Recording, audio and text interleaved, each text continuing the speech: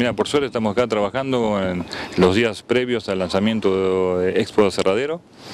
Se va a desarrollar el 29, 30 y 1 de julio, domingo, con la presencia de carpinteros, cerraderos, eh, generación de desarrollo de insumos. Lo que estamos impulsando básicamente es el, tres aspectos, insumos, tecnología lo que es el lanzamiento de la nueva ley de madera en la provincia de Entre Ríos y lo que es el equipamiento en madera, en muebles. ¿De qué trataría la nueva ley de maderas? El 10% de la nueva ley de madera es que el 10% de la construcción que se desarrolle en el sistema constructivo en, Ríos va a ser de madera directamente. Va a ser una nueva propuesta que a nivel internacional y nacional es muy importante. Es la primera ley que se va a desarrollar en el país. ¿Qué beneficios traería esto? Mira, para el sector maderero, principalmente, que es la apertura a capacitación, desarrollo, inversiones, nueva mano de obra, impulso.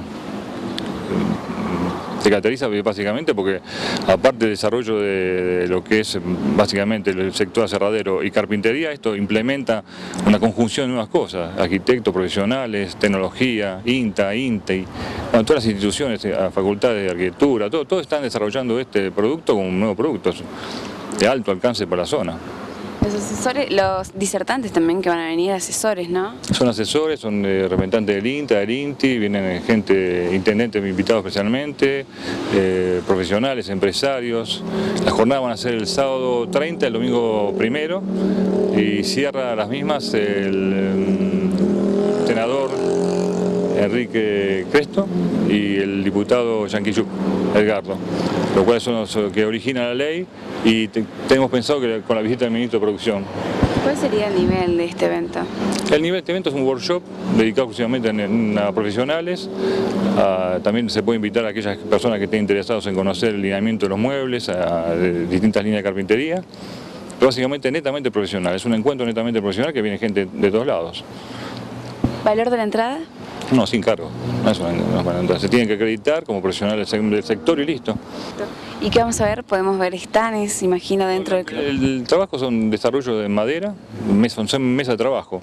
Cada mesa trae, un producto nuevo, sierras, elementos, insumos, equipos, este, seguridad, prevención, eh, presencia de líneas de carpintería, aserraderos.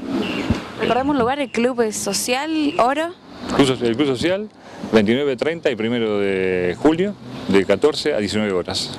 Muy bien, ¿dónde se pueden realizar las acreditaciones? Es directamente visitando expocerradero.com.ar, ahí directamente uno se inscribe y se anota. Muy bien.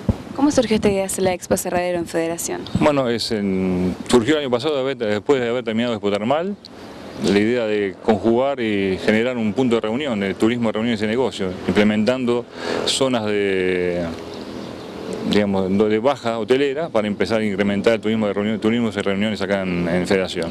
Y surge así la idea de, generando una industria tan importante como la industria maderera y forestal acá en Entre Ríos, eh, la, apreciación de este nuevo producto en el mercado enterriano que se llama Esposerradero.